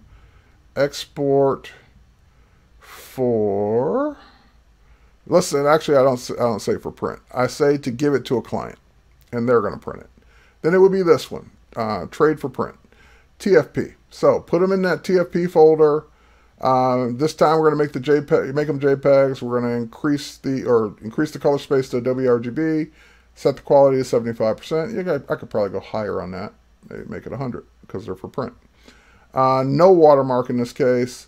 Um, 200 pixels per inch at 3000 by 3000 is usually good enough for most people to print. And that's it. So let me, now, since I made that change, I changed it from 75 to 100. Notice that my 4TFP without water, without copyright is no longer highlighted because it doesn't match this anymore. If I switch it back, then it drops the quality back down. So let's say I want to increase the quality but I want this now to be representative of that change. What I would then do is right click on this one and say update with current settings.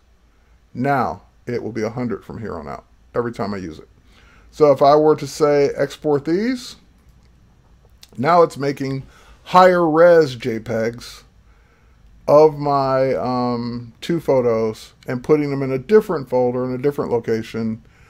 Um, and then it will show it to me when it's done. And again, all these exports happen in the background, so you can select your next next set of pictures and go.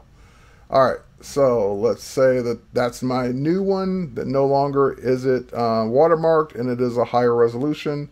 So instead of being 300K, um, it's now 4.9 megabytes versus 3.9 megabytes versus 300K. And those are now um, ready to send to a client for print. So that's exporting.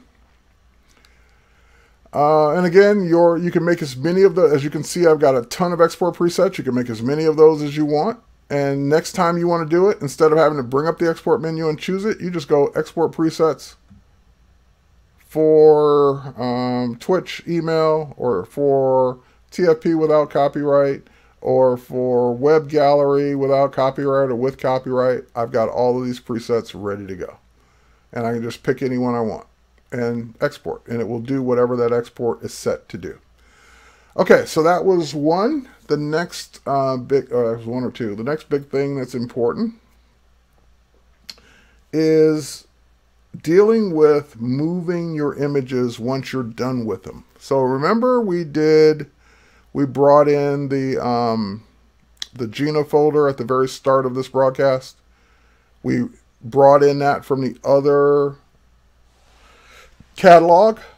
And here it is, the Gina J folder. Oh, sorry, that's the wrong one. There it is.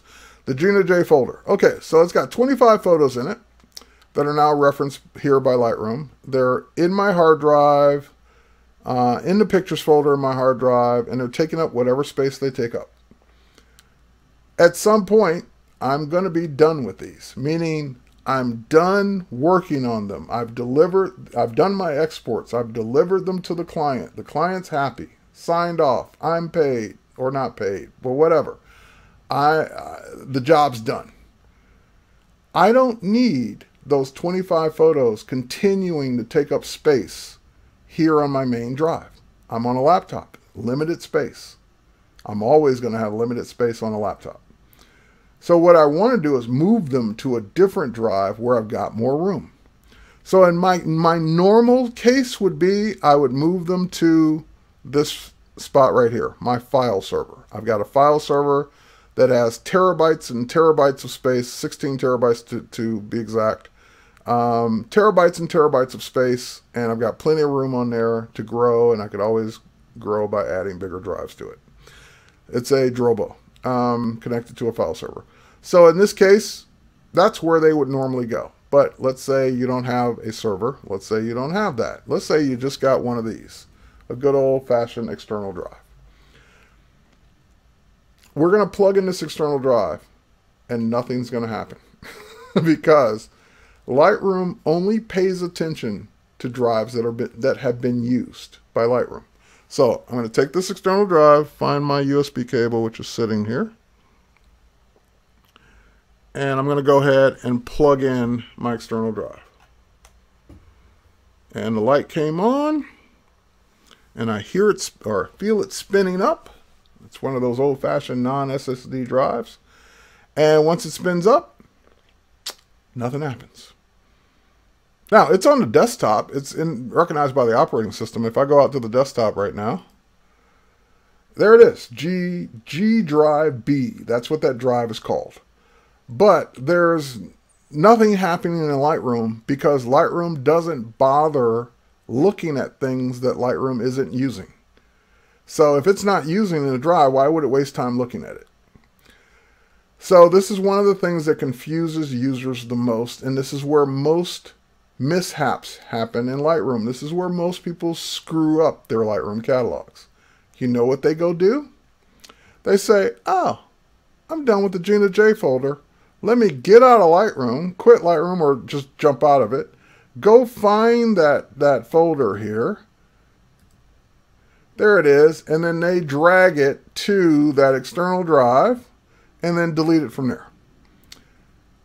Yes, you can do that. But when you come back to Lightroom, then you've got to fix your problem because Lightroom is going to say, I don't know where the Gina J folders are, photos are anymore because you moved them behind my back. You took them away from me and now you've got to tell me where they are. So you're going to have uh, question marks or alert symbols or whatever the icon is these days that Lightroom uses on every single photo in that, that folder saying, I don't know where it is anymore. And luckily, it's it's not too hard to fix. You would click the little alert symbol. Um, here, I'll, I'll show you what it looks like. I'll just change the name of the folder. Another thing people muck around with. they change the name of the folder to Gina JJ. So now I've changed the name, and since I've changed the name, that path is no longer valid. And now when I, uh, I'm, I'm going to have that little alert symbol right there. So that little alert symbol right there means that Lightroom can no longer find the photo. It's missing. So what I would have to do, now you're probably thinking, well, how come you don't have that on all the photos? Because we built smart previews on all the rest. We didn't build it on this one because this is the one we edited from uh, Photoshop, so we haven't got a chance to build it yet. But all the other ones have smart previews, so the smart previews are still there. You just don't have the original photo. So I could not, for example, take this photo and edit it in Photoshop. It's going to be grayed out because Lightroom's saying, I don't know where that photo is. I can't edit it in Photoshop. I can't give you the high-res version. But I could use the develop module to make any other changes because we're using the smart preview. So long story short, the photo is missing and I would need to reconnect them all. So when I click that alert symbol, I could then go find the new location, which would be the same folder now with a different name, and it would reconnect all the photos. But just, why are you, uh, just don't do it that way. Let me show you the way to do it. First, let's repair the problem. Let's put it back to the right name. Then that alert symbol should go away because the name has been updated. It should go away in just a second here. No, it's not going away. You've screwed it up forever now. Oh, see, and it's saying here this whole folder's still missing. Come on, you're not. Did I change it back to the right name? Yes, I did. Okay, I fixed it. All right, so the right name's there. It's now been fixed. No more missing photos. Let's do it the right way. How do we do it the right way? I want to move them to that external drive, and this is why most people probably do it outside of Lightroom, because the external drive doesn't show up. So here's the magic trick to make the external drive show up. And it, and I agree. It shouldn't be this way. It should be easier. You should get a choice to say when I plug in a drive, Lightroom should ask, do I want to use it? But you would get that every single time. All right. Anyway, in the meantime, we've been creating new collections by clicking the plus sign here. But you can also create folders. We've been using folders. We have never had to create one. We've just imported images already existing in existing folders. But the plus sign is here for a reason. If I say create a new folder, add folder, it will come up and ask me where. This is your chance to tell it about the new drive. If I go to the new drive and I create a new folder, I got one here that I did last time I showed this called archive. We'll make a new folder called Twitch. So now when I create this new folder in that drive called Twitch and click choose, lo and behold, the G drive is here. And there it is. And in here is a folder called Twitch with nothing in it. So now from here on out, Lightroom knows that that drive exists. It will, even though there's nothing on it that it knows about, it will show you this drive from here on out because you've introduced Lightroom to that drive by creating a folder on it that Lightroom knows about. Now here's your easy, easy, easy way of moving your photos from the internal drive or whatever drive you don't want them on anymore to the drive you want them on now and let Lightroom do all the work. No disconnected images, no need to move metadata, no need to fix problems. Here's the easiest way to do it. Take that folder, drag it into that folder. That's it. Moving folder, not copying, moving. So it's moving it from my internal drive, see them starting to disappear? All of these are being moved to my external drive. And once it's done, it's done. It knows where they are. I don't have to think about it anymore. And if I disconnect that drive, I still have the smart previews with me. All right. So now there it is. Let's click. There's my Gina J folder in my new Twitch folder in my external drive, and they're there with everything, no problems, everything connected. It knows that they're the originals. It knows the smart previews are there. When I disconnect the drive, because I won't be taking that drive with me everywhere I go, it will be, I'll still have the smart previews. When I reconnect the drive, anything I did to the smart previews will apply to the raw files. The only thing I won't be able to do is if I disconnect the drive, I won't be able to edit in Photoshop or output a high, high, big, giant file. But that's it. The rest will just work. And as long as that drive's connected, I can do everything just as if those photos were on my internal drive. But now they're no longer taking up space. I just got rid of the space. Now, the only thing else that this broke, remember where these came from. These came from our old collection. I'm sorry, our old catalog. So that old Twitch catalog still thinks they're on the internal drive. So on the old catalog, if I go back and use that, I've got to tell it where these are now. Other than that, they've been moved the right way. And that's the way, you're, you're welcome, Renee. That's the way you need to do this from here on out to cause zero issues or have zero issues if you do it this way. If you do it behind Lightroom's back, that's okay as long as you know how to fix it. And some people they say, "Oh, you know, experts. Oh, I do it all the time in the Finder or the OS because it's faster." I prefer to let it just do it in the background. Even though it might be faster to do the copy in the OS, I still got to come back and fix it after the fact. So I'd rather just, I'm in no hurry. I'd rather just let it copy in the background while I continue working, or moving in the background, I should say, and it'll just move. I don't have to think about it anymore. So that is the number one solution to the number one biggest problem I see of Lightroom users is they go outside of Lightroom and mess with the photos. If you don't ever go outside of Lightroom and mess with the folders or the photos, you won't have problems with Lightroom's catalog because Lightroom's catalog knows what it's doing, it knows where everything is, and all you have to do is drag and drop after you've introduced the drive to Lightroom.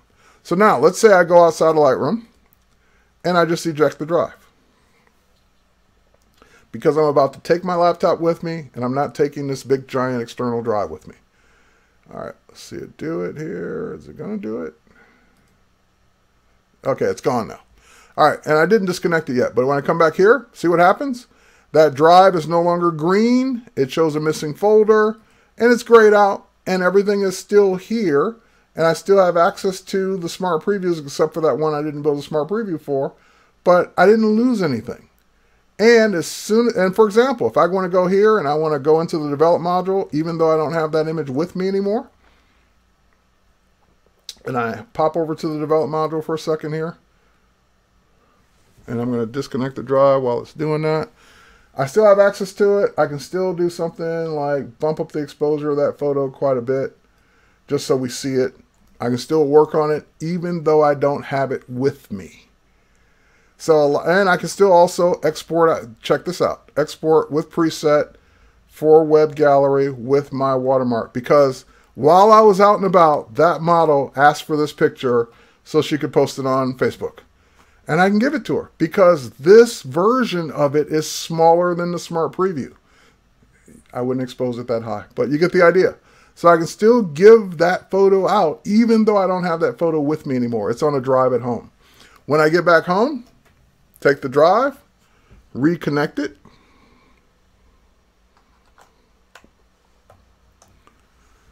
The drive will spin up.